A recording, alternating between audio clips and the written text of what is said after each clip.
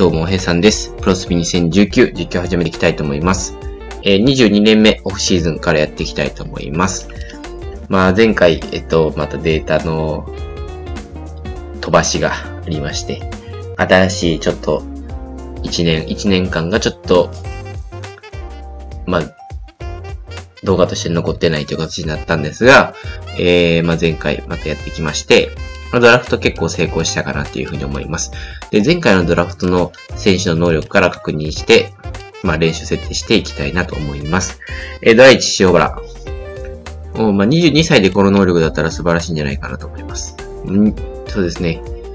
500ぐらいまでもいきそうですし、大事に育てていきましょう。地球から消していきましょ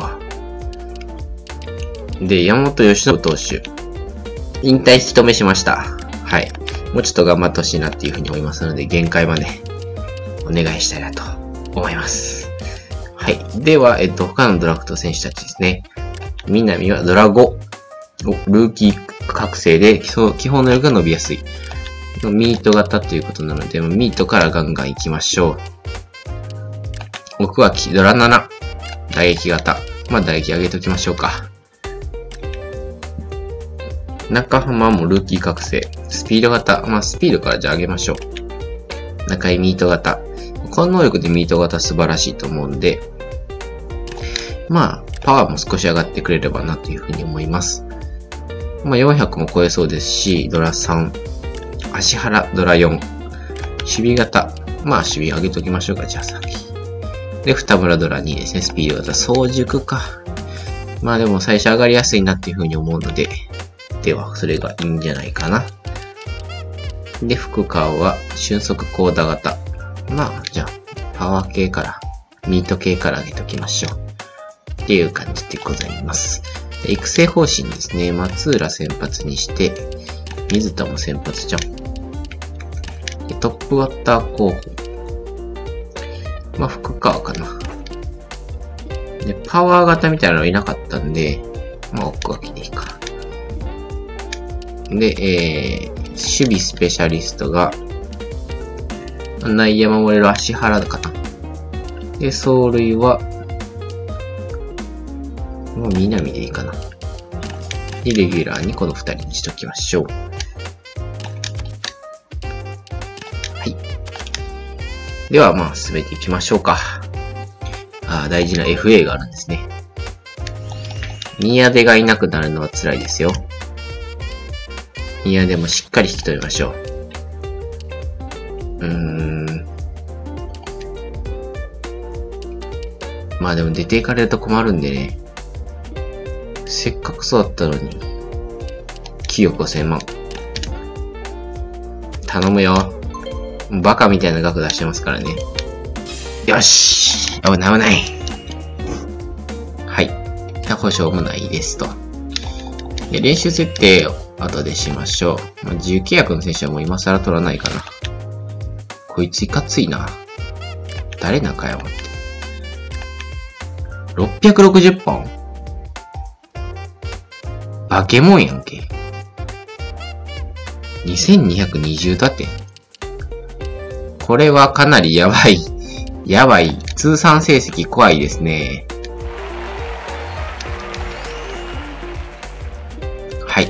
では、春季キャンプです。えー、春季キャンプ宮出ぐらいですかね。宮出まだ育つので。うーんと、粘り固め。もうちょっと特殊能力取った方がいいかなと思いますので、まあ、流し打ちとか、かな。結局通り持ってる割にはそんなに、そう、通り、盗塁をしてないので。うん。まあまあまあ。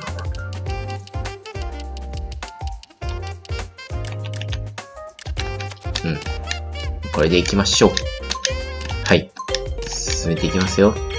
で、もうデータ飛ぶのが怖いので、もう確実にセーブしましたので、大丈夫だと思います。大町のスローイングが10上がりましたね。ルーキー覚醒の選手たちも2人ぐらいいたので、パワー9、奥脇。おー、足原すごい。おー、中浜の走力もすごい。18上がり。やばいですね。おー、南。南もミート44、パワー5、走力3。めちゃめちゃ上がってますね。はい。では、まあ、ここはね、こんな感じですよっていうだけなので、早く、森本コーチとか S になってほしいんですけどね。秋山コーチも早く S になれよって感じなんですけど。はい。では、投手、山本由伸選手を、まあ、一旦、まあ、清田も頑張ってるけどなで、えっと、ドライチの小森かな？違うな。誰や、ドライチ。塩原か。塩原は、久保、中には、小野塚かな？ここに入れましょう。うん。はい。6番手でいいかな。吉信選手。で、ここ打順が変わってますので、えー、戻していきましょう。うんと、宮出を一軍にまず上げます。もろすごいことになってんな。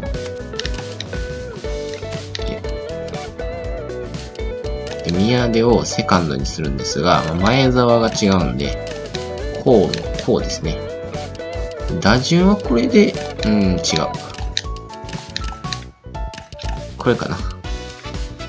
横須賀7番でこのミート力。ここかな。で、上位陣がめちゃめちゃルイに出るので、シダクック横須賀がすごい打点になると。はい、これでいいでしょう。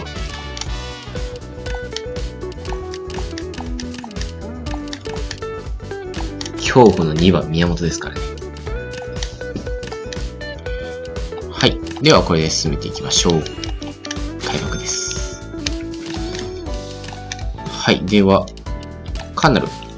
カーナルは、うーん、まあ、ピンチ上げときましょうか。あとは、あとは、水田。えー、先発。うーん、また、三振はいるかな。吉見は、中継ぎなんで、まあ、緊急登板は取りましょう。まだ上がりそうですね。宮本いいぞ。で、ルーキーの足原とかもかなり、今、グーンと上がってましたしね。奥脇も上がってましたね。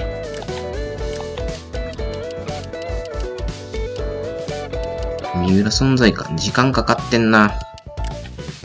お、アペタンしたんか。ペターンしたら時間かかるわ、そりゃ。うわ、もう最悪。めちゃめちゃ良かったのにな。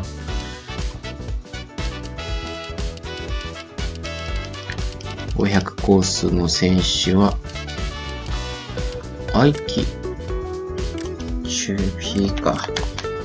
まあこれ総力にしましょうかね。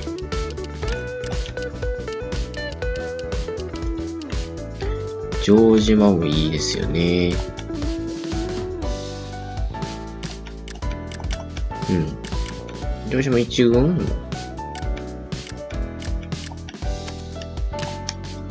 城島一軍にしたいよ。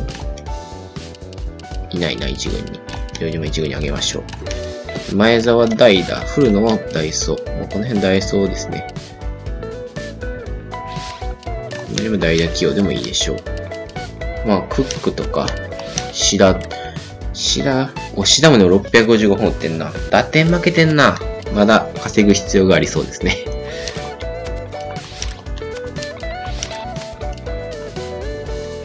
宮で、2で、白石。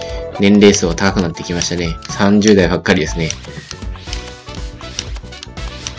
まあ、日傘が若いかなって感じですかね。まあ、その後が元市城島。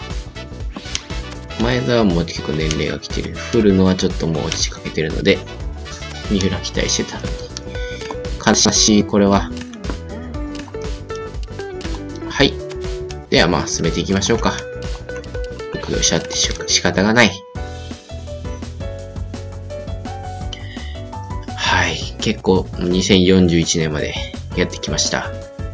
これが23年目になるのかな ?901、そうですね。23年目。あと7年という形になってきました。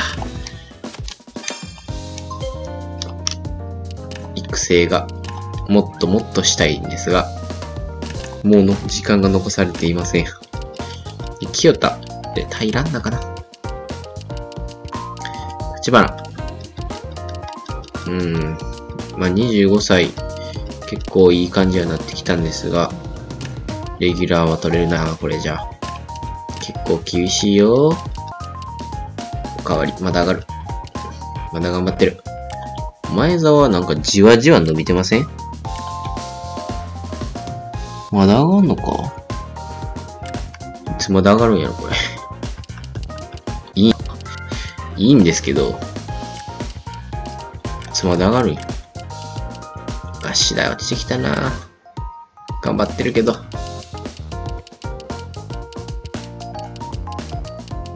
い。まあ、こっちはいいかな。はい。では、1ヶ月目。ま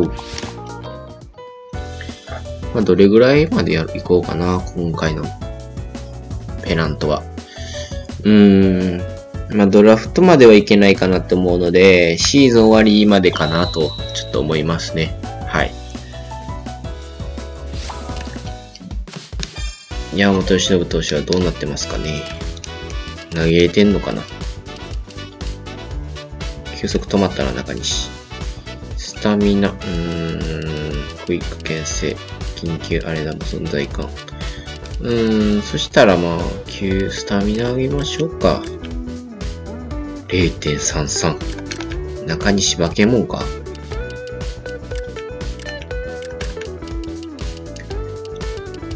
ちょっと見ましょうか。お、4勝してる。5.28やけど、4勝してるぞ。いや、特殊能力がどんどん悪くなってるな。元からだったっけ？元からあんまり覚えれないんですよね。能力が高すぎて。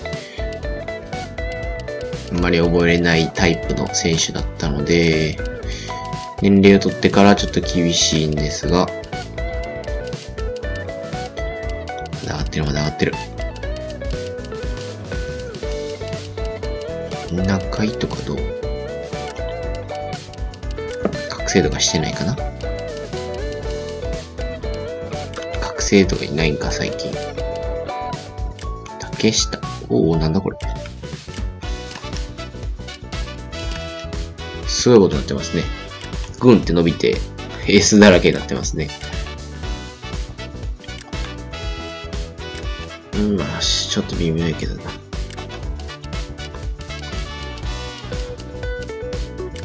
矢沢。うん、何が、何が伸びたんやろ。わからない。覚醒はあとはいないかな。ピッチャーとかでいたりはしないかな。ピッチャー覚醒しづらいんですよね、なんか。そういうイメージがありますね。はい。まあでは進めていきましょう。では6月まで。いやー、またでは次回のペナントっていうんですかね。考えているといったペナントの、あれを、情報をまた小出しにしていこうかなと思います。まあ次の、なんでしょう。早送りの時に言いましょうか。さっき練習ですね。あ、今回、あれしてないぞ。外国人探してないんちゃうかな。やだ。やだは、まあギアチンでいいかな。ピッチャーが今少なくなってきてるので、またピッチャーをドラフトで取っていかないといけないですかね。鶴田が、うーん。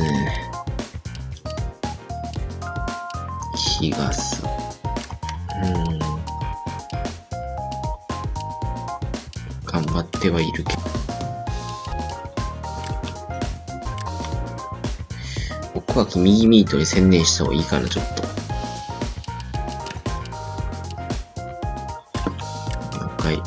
うん、上がってんのか、これ。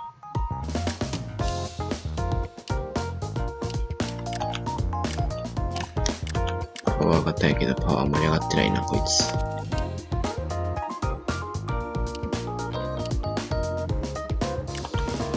うん、城島いいな。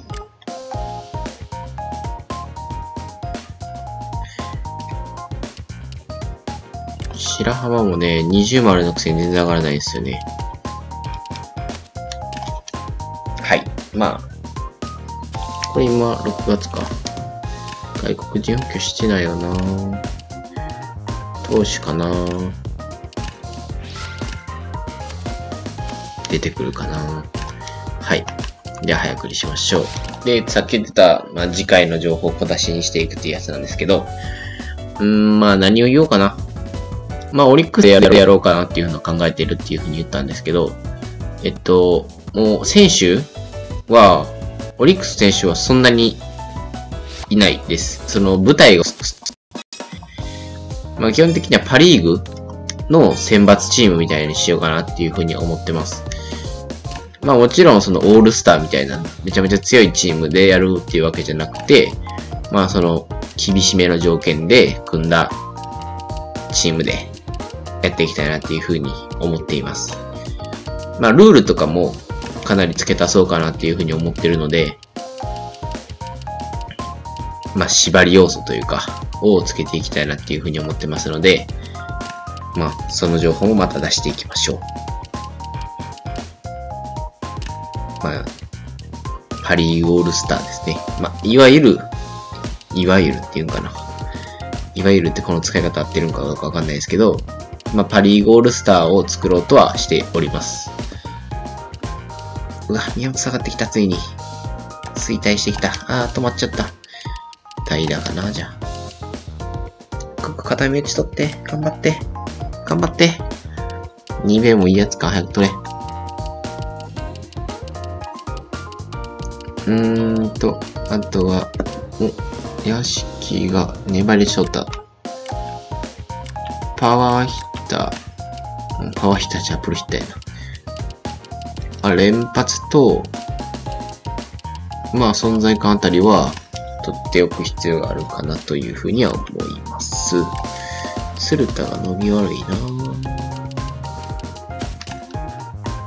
はいさあ、外国人、二人。いや、ダメ。はい、じゃあドラフト選手。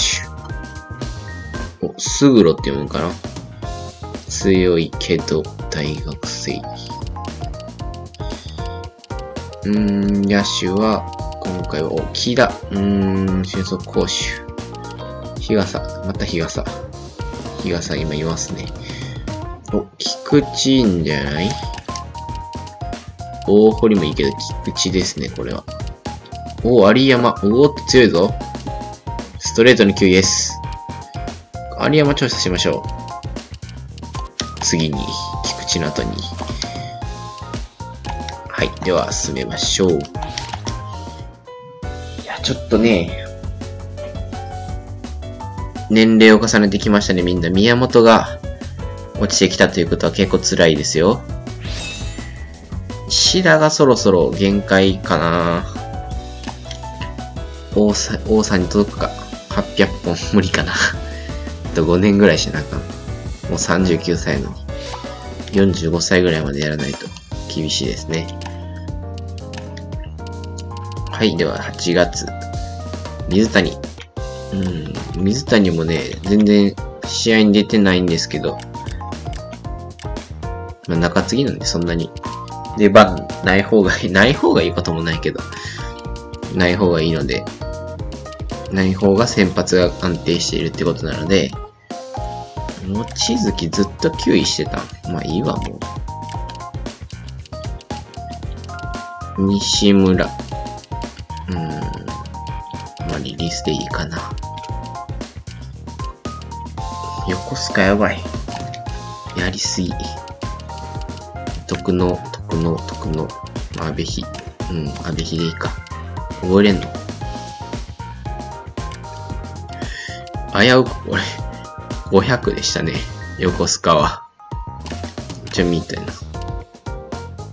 中条もいい感じに育ってきましたね。花村何これ守備型？調子リーダーゲーム。大町スローイン結果上がってきましたんで、まあ、万能型なんで、全部 D ぐらいまでには最低しましょうか。あとは特にはないかな三浦存在感時間かかるね、本当に。あいつどうなったんですかねえー、どうぞ。ゾゾ、まだ見てんの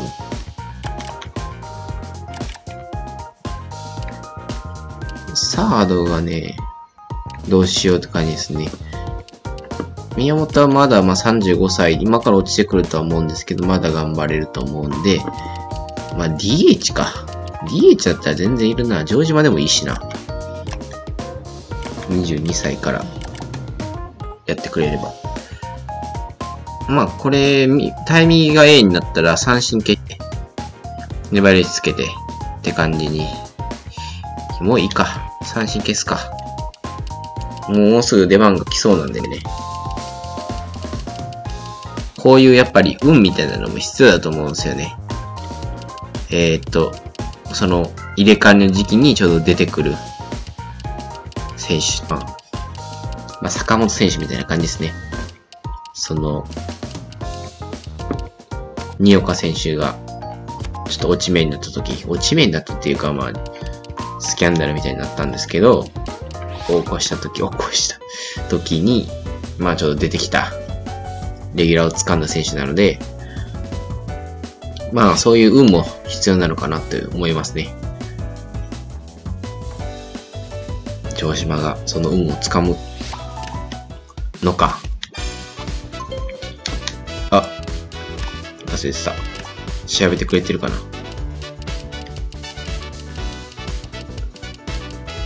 調べてくれてない。有山調べて。はい。ではまあ、また練習、お違う違う違う。練習設定をしましょう。ハーデン。うーん。ハーデンね、ダメなんですよね、全然。なんで、もう首かなと。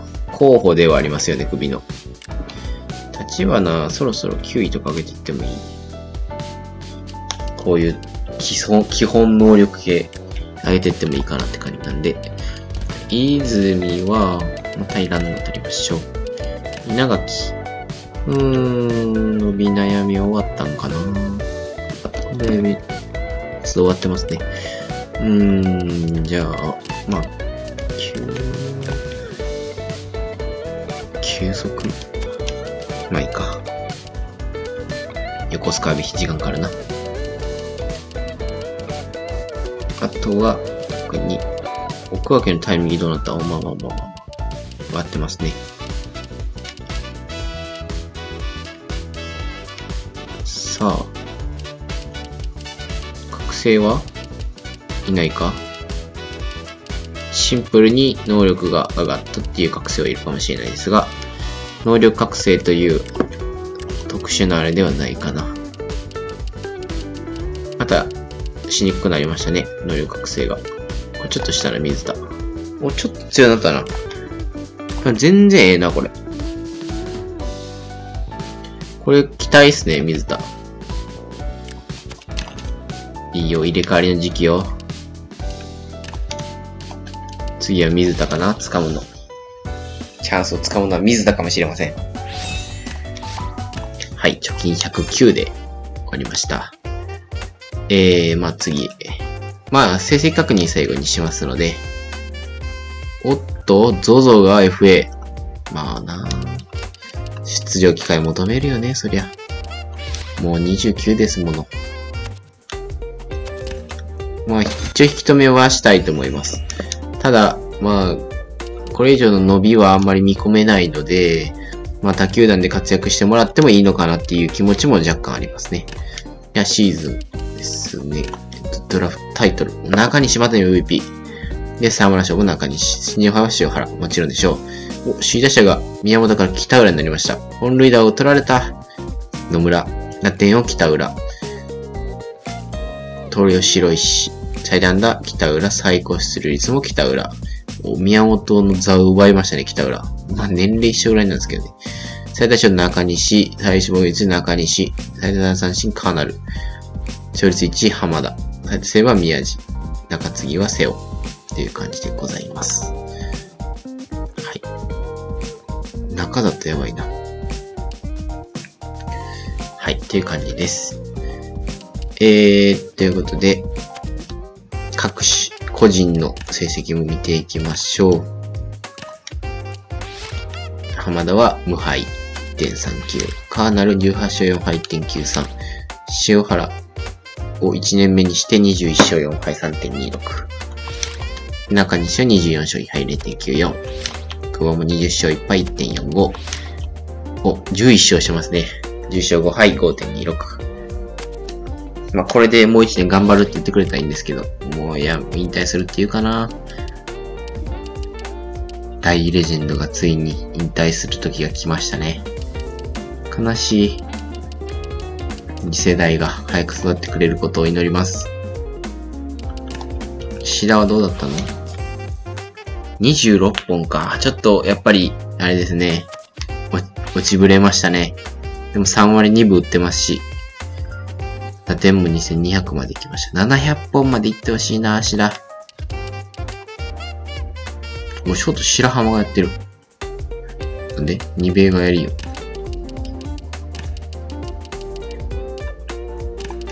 なんでじゃあ順君微妙に変わるねやろ。ま